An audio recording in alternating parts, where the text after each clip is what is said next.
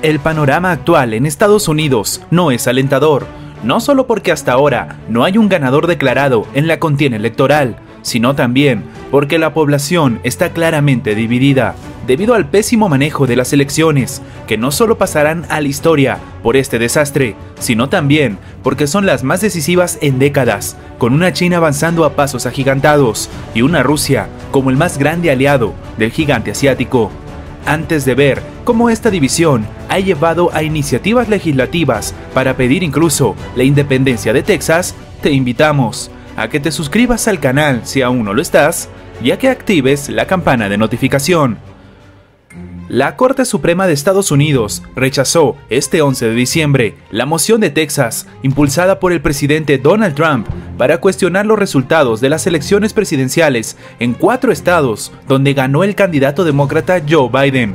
La decisión decepcionó al mandatario, quien se apresuró a reaccionar en las redes sociales.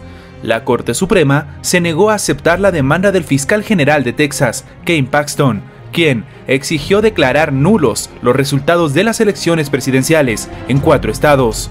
De acuerdo con la reclamación que presentó, la votación en Pensilvania, Georgia, Wisconsin y Michigan vulneró las normas de la Constitución porque sus autoridades modificaron ilegalmente la legislación electoral bajo el pretexto de la crisis sanitaria. Los cuatro estados en cuestión, Georgia, Michigan, Pensilvania y Wisconsin, contribuyeron con 62 votos a la hasta ahora victoria del candidato demócrata. Para ganar las elecciones presidenciales se necesitan 270 votos. La demanda de Texas fue apoyada por unos 17 estados, pero los jueces no encontraron ningún motivo legal para que Texas, que, según ellos, no tenía legitimación para presentar una reclamación, disputara los resultados de los comicios en cuatro estados. De este modo, la Corte Suprema destruyó las últimas esperanzas de Donald Trump. La Corte Suprema realmente nos falló, sin sabiduría, sin valor, escribió el actual mandatario en su cuenta de Twitter. Trump se mostró contrario a la decisión del tribunal. En su opinión, desestimó el caso en un segundo, a pesar de haber ganado más votos que cualquier otro presidente en la historia. Las elecciones están falsificadas, seguimos luchando, afirmó el mandatario. El objetivo del actual presidente ha sido que el caso llegue a la Corte Suprema, donde colocó a tres nuevos jueces en su primer mandato y donde los republicanos tienen clara mayoría. En el periodo previo a las elecciones, Trump se apresuró a nombrar a la jueza Amy Coney Barrett con la esperanza de que pudiera ayudar en las cuestiones electorales.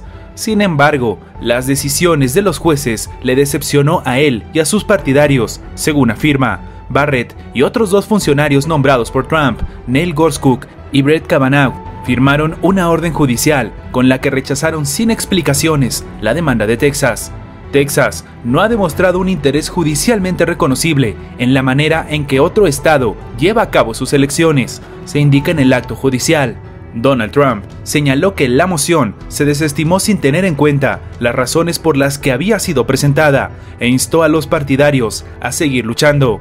Además del candidato republicano, otros políticos también reaccionaron a la decisión judicial. Así, el presidente del Partido Republicano de Texas, Allen West, sugiere tomar una unión de estados que se rija por la Constitución. La demócrata y fiscal general de Michigan, Dana Nissel, enfatizó en un comunicado que el fallo fue un importante recordatorio de que somos una nación de leyes y aunque algunos pueden doblegarse al deseo de un solo individuo, los tribunales no lo harán. Es desafortunado que la Corte Suprema decidiera no encargarse del caso y determinar la constitucionalidad de la falta de cumplimiento de la ley electoral federal y estatal de estos cuatro estados, señaló en un comunicado el republicano que presentó la demanda, el fiscal general de Texas, Ken Paxton. Los demócratas y otros críticos han acusado a Trump de tratar de socavar la integridad de las elecciones estadounidenses y de sabotear la democracia del país al tratar de subvertir la voluntad de los votantes. Por su parte, los principales asesores legales de Trump, Rudy Giuliani y Jenna Ellins, explicaron que los recursos legales del presidente no se han agotado y que seguirán con su empeño de invalidar las elecciones antes del 6 de enero, cuando el Congreso aceptará formalmente los resultados del colegio electoral. La decisión de la Corte Suprema de Estados Unidos permite al Colegio Electoral de Estados Unidos celebrar una reunión el 14 de diciembre, donde se espera que se formalicen los votos electorales. Recordemos que para esto nada más falta un día, con lo que se anunciará oficialmente la supuesta victoria de Joe Biden, quien ha acumulado 306 votos contra los 232 de su rival republicano. Pero este no es el único baldazo de agua a las pretensiones del actual presidente de Estados Unidos, ya que un juez federal acaba de desestimar la demanda del presidente Donald Trump de revisar los resultados de las elecciones presidenciales de noviembre pasado en el estado de Wisconsin debido a que el demandante no pudo presentar vulneraciones claras a las directivas para celebrar elecciones de la legislatura de Wisconsin. Su demanda debe ser desestimada, dictó el juez federal Brett Ludwig. Según datos oficiales, el demócrata Joe Biden ganó frente a Trump en Wisconsin por unos 20.700 votos.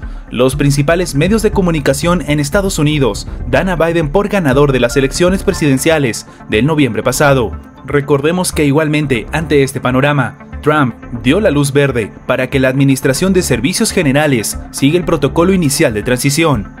El jefe general de Estados Unidos, William Barr, dijo la semana pasada que el Departamento de Justicia no tiene evidencia de un fraude electoral generalizado sin embargo, la división política en el país norteamericano también se siente en las calles, ya que una decena de personas fueron heridas en Estados Unidos durante los choques entre los grupos de manifestantes que coreaban consignas de signo opuesto en relación a las elecciones presidenciales, la injusticia racial y las restricciones de la crisis sanitaria. Al menos cuatro personas sufrieron heridas críticas de arma blanca en Washington el 12 de diciembre por la noche, según el portavoz del Departamento de Servicios Médicos de Emergencia y Bomberos del Distrito de Columbia, Doug Buchanan, citado por The Washington Post. También un policía resultó levemente herido en una escaramuza no relacionada con las protestas. En total, ocho personas fueron trasladadas a hospitales para recibir la atención médica.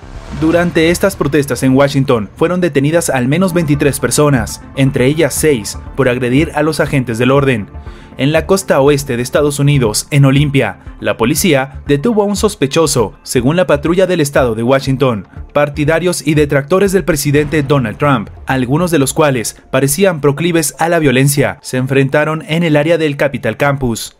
Hay individuos fuertemente armados en ambos grupos. Hemos tenido enfrentamientos esporádicos a lo largo del día, dijo el sargento Darren Wright, citado por el canal NBC News.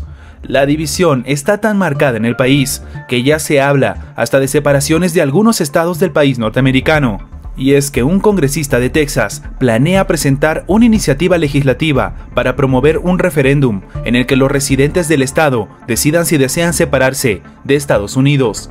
El gobierno federal está fuera de control y no representa los valores de los texanos. Por eso, me comprometo a presentar una legislación que permita celebrar un referéndum para dar a los texanos una votación para que el estado de Texas reafirme su estatus de nación independiente escribió el legislador republicano Kyle Biederman.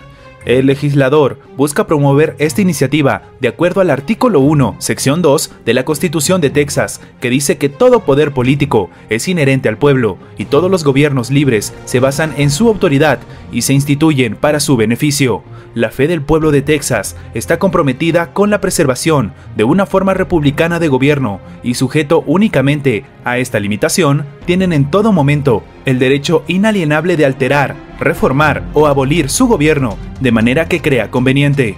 No es la primera vez en la historia de Texas que se habla de una independencia. De hecho, en 1861, cuando comenzaba la guerra civil, este estado se separó de Estados Unidos y se unió a los Estados Confederados de América. Sin embargo, durante el apogeo de la reconstrucción de 1870, el Congreso estadounidense readmitió a Texas en la Unión.